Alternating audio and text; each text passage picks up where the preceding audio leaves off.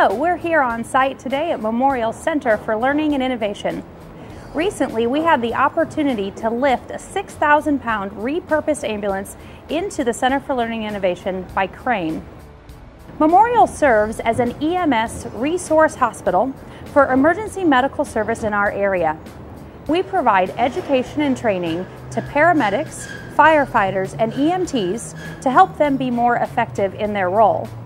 Having an ambulance in the simulation center on the third floor is just one opportunity for us to be able to provide simulated education in a psychologically and physically safe environment. In addition, the MCLI will help foster a culture of continuous learning and improvement, which is so important to Memorial achieving its mission and fulfilling its vision to be a national leader for excellence in patient care. This facility will allow our organization to develop the capabilities and capacities of our healthcare workforce to meet current and future business demands. As you can see, there's a lot of construction going on here at Memorial Center for Learning Innovation.